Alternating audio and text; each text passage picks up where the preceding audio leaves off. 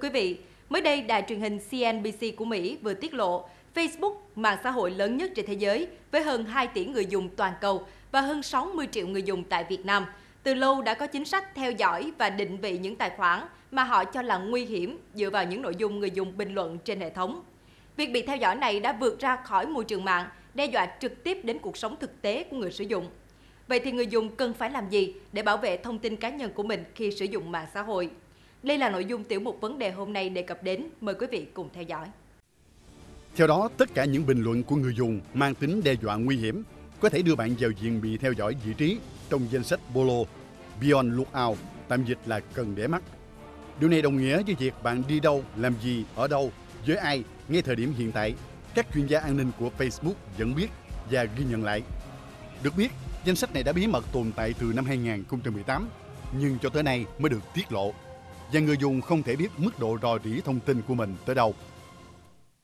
Đối với một số người khác thì à, họ có thể sử dụng tài khoản mạng xã hội phục vụ cho những mục đích xấu, ví dụ như lừa đảo hoặc là à, à, bêu xấu à, cá nhân khác hoặc là chống phá nhà nước này nọ vân vân thì rõ ràng à, cái vấn đề định vị đó cũng rất là quan trọng nếu mà đối với vấn đề về pháp luật à, thì nếu như là có sự hợp tác cụ thể thì à, cơ quan pháp luật của nước sở tại có thể nhờ vào những cái định vị đó để có thể khoanh vùng và có thể bắt được những cái đối tượng như thế. À, đó là một mặt tốt.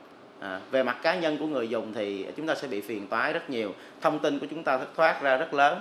Và điều đó thì là chúng ta đã bấm nút đồng ý à, với những cái điều khoản như thế à, để mà chúng ta gia nhập vô một cái mạng xã hội à, lớn nhất hành tinh hiện nay. Hiện nay, ý thức về an toàn thông tin điện tử dường như vẫn còn xa lạ đối với nhiều người. Không khó nhận thấy, nhiều người đang thoải mái chia sẻ hình ảnh, địa chỉ nơi ở, nơi thường đến, thói quen sinh hoạt, sở thích. Dù chia sẻ ở chế độ công khai hay bạn bè, thì tất cả thông tin bạn cung cấp lên mạng xã hội đều có thể được sử dụng cho những mục đích quảng cáo, tài chính mà chính bạn đã đồng ý khi đăng ký tài khoản. Ngoài ra, Facebook cũng bị điều tra về việc bí mật thỏa thuận chia sẻ thông tin người dùng với các công ty sản xuất thiết bị điện thoại di động như Apple, Amazon, Microsoft cùng nhiều công ty tên tuổi khác. Trước vụ việc lần này thì còn nhớ vào năm 2018, hệ thống của Facebook bị tấn công. Hơn 87 triệu người dùng mạng xã hội này đã bị đánh cắp thông tin cá nhân từ tên họ, địa chỉ, số điện thoại cá nhân cho đến những tin nhắn cuối cùng vừa gửi trên hệ thống.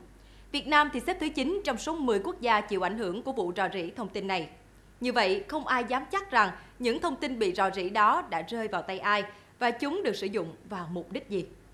thật ra rất khó để chúng ta liệt kê một cái danh sách là những cái gì nên hoặc là những gì không nên. Cái đó nó phụ thuộc vào cái yếu tố là sự nhận thức của bản thân của mỗi người, cũng như rằng là cái vị trí, địa, vị xã hội hoặc là à, công ăn việc làm của chúng ta ra làm sao. Và quan trọng rằng là trong cái nội dung thông tin của chúng ta chứa đựng những gì. Nếu đó là những cái cuộc đi chơi bình thường hay là những cái chia sẻ gì đó thì không sao. Tuy nhiên rằng là rõ ràng rằng là à, cái việc à, lợi thì nó cũng có cái hại.